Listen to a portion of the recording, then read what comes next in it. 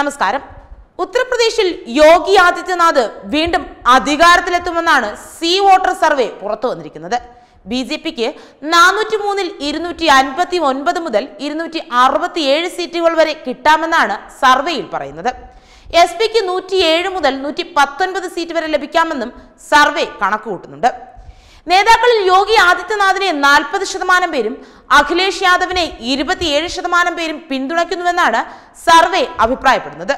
പ്രധാനമന്ത്രി നരേന്ദ്രമോദിയുടെ പ്രവർത്തനത്തിൽ എഴുപത് ശതമാനത്തിലധികം പേരും തൃപ്തിയാണ് അറിയിച്ചിട്ടുള്ളത്.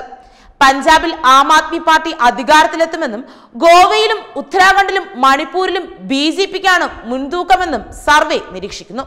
ഇത് സംബന്ധിച്ചൊരു പ്രമുഖ മാധ്യമത്തിന്റെ ജൻ കി ബാത് സർവേയിലും യോഗി ആദിത്യനാഥിനാണ് മുൻതൂക്കമെന്ന് കണ്ടെത്തിയിരുന്നു.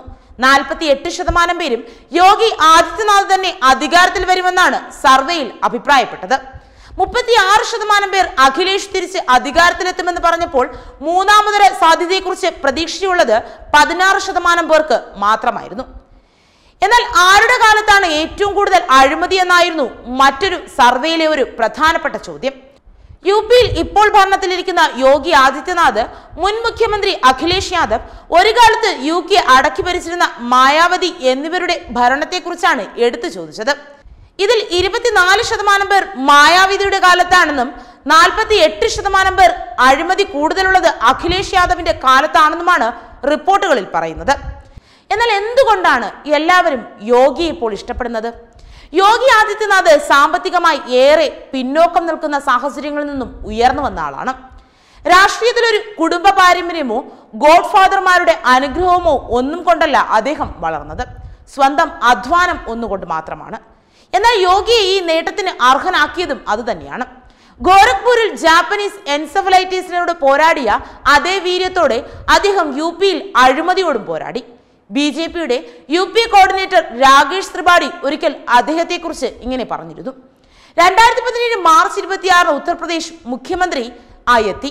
അതിനു മുമ്പ് സംസ്ഥാനത്ത് നടന്ന നിയമസഭാ തെരഞ്ഞെടുപ്പിൽ ബി ജെ പി പ്രചാരണത്തിന്റെ കോർഡിനേറ്റർ. അതിനു മുമ്പ് ഗോരഖ്പൂർ മണ്ഡലത്തിൽ നിന്ന് തുടർച്ചയായി അഞ്ചു വട്ടം ലോക്സഭാ അംഗമായി. അതിനു പിന്നിലേക്ക് അധികം സഞ്ചരിച്ചു പോകാനാവില്ല. യോഗി ആദിത്യനാഥിന്റെ കാര്യത്തിൽ. ആയിരത്തി തൊള്ളായിരത്തി തൊണ്ണൂറ്റി എട്ടിൽ തന്റെ ഇരുപത്തി ആറാം വയസ്സിൽ ഗോരഖ്പൂരിൽ നിന്ന് പന്ത്രണ്ടാം ലോക്സഭയിലെ ഏറ്റവും പ്രായം കുറഞ്ഞ അംഗമായി തെരഞ്ഞെടുക്കപ്പെട്ടുകൊണ്ടായിരുന്നു യോഗിയുടെ രാഷ്ട്രീയ പ്രവേശനം. രണ്ടായിരത്തി പതിനാലിൽ യോഗി അവൈദ്യനാഥ് എന്ന തന്റെ ആധ്യാത്മിക ഗുരുവിന്റെ മരണശേഷം ഗോരഖ്നാഥ് മഠത്തിന്റെയും മടംവക മഹാക്ഷേത്രത്തിന്റെയും സർവാധിപതിയായിരുന്നു യോഗി ആദിത്യനാഥ് എന്ന ഹൈന്ദവ സന്യാസി. അതിനു മുമ്പ് ഹിന്ദു യുവവാഹിനി എന്നൊരു ഹൈന്ദവ സംഘടനയുടെ സ്ഥാപക പ്രസിഡന്റ് കൂടിയായിരുന്നു അദ്ദേഹം. അജയ് കുമാർ ബിഷ്ടിൽ നിന്ന് യോഗി ആദിത്യനാഥാവുന്നത് വളരെ ചുരുക്കമായ ഒരു കാലഘട്ടം കൊണ്ടാണ്. ആയിരത്തി തൊള്ളായിരത്തി എഴുപത്തിരണ്ടിൽ ഇന്നത്തെ ഉത്തരാഖണ്ഡിൽ അന്നത്തെ ഉത്തർപ്രദേശിലെ പൗരി ഗർവാൾ ജില്ലയിലെ പഞ്ചൂർ ഗ്രാമത്തിലായിരുന്നു അജയ് മോഹൻ ബിഷ്ട് എന്ന പേരിൽ ഇദ്ദേഹം ജനിച്ചത്.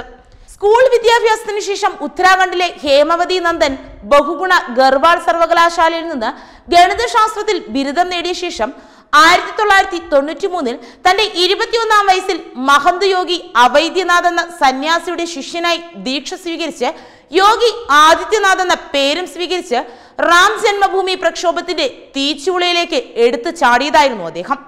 അവൈദ്യനാഥിന്റെ ശിഷ്യനായി സന്തത സഹചാരിയായി നടന്ന ആദിത്യനാഥ് ഒടുവിൽ ആശ്രമത്തിൽ അവൈദ്യനാഥിന്റെ പിന്തുടർച്ചാവകാശിയായി അവരോധിക്കപ്പെട്ടു. അവൈദ്യനാഥിന്റെ മരണശേഷം പീഡാധീശ്വരനായും അവരോധിക്കപ്പെട്ടു. രണ്ടായിരത്തി പതിനേഴ് ഫെബ്രുവരി മാർച്ച് മാസങ്ങളിൽ ഉത്തർപ്രദേശിൽ നിയമസഭാ തെരഞ്ഞെടുപ്പ് നടന്നു. ബി ജെ പി ഉത്തർപ്രദേശ് തൂത്തുവാരി. മോദി യോഗി ആദിത്യനാഥിനെ സംസ്ഥാനത്തെ മുഖ്യമന്ത്രി പദത്തിൽ അവരോധിച്ചു. അത് ഹിന്ദു യുവവാഹിനിക്ക് ഒരു വൻ ഉത്തേജകമായി ഭവിച്ചു. രണ്ട് ലക്ഷത്തിലധികം അംഗങ്ങളുള്ള ഒരു സംഘടനയിലെ അംഗസംഖ്യ പ്രതിദിനം വർദ്ധിച്ചുകൊണ്ടേയിരുന്നു.